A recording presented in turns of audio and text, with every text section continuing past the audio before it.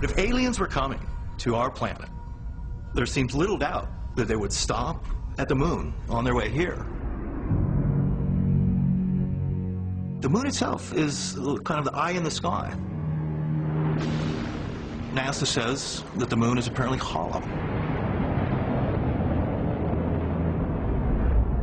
During the Apollo missions, uh, the command module crashed into the moon. And the moon rang like a bell for hours. There are craters on the moon which they cannot find bottom to. And it's thought by some researchers that these bottomless craters are entrances inside our moon.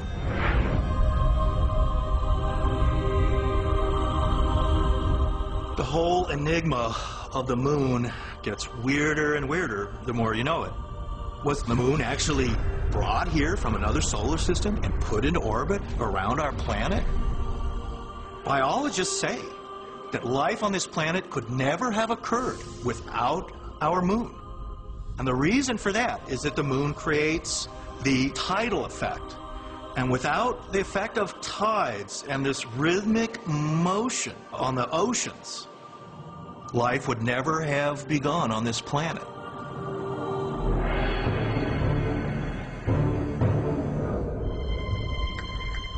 In my mind, the evidence is there that the moon is a gigantic spaceship in orbit around our planet.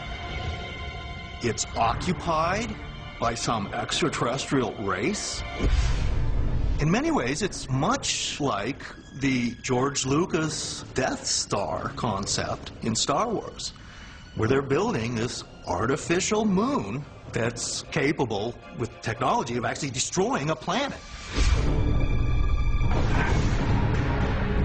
But if alien beings are using the moon as some sort of satellite for Earth observation, why?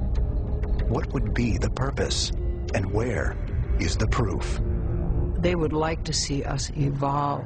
You know, they are great masters, great um, avatars. They are very high, and so are we. And we need to live up to our potential. We really need to live up to our potential for all people.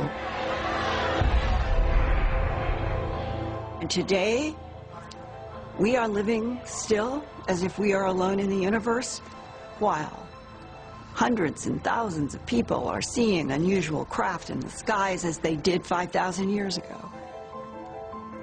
And so, in a way, the idea that the ancient aliens would finally be coming around full circle all the way into the 21st century as trying to push open a truth that governments have suppressed in the 20th century is really very ironic.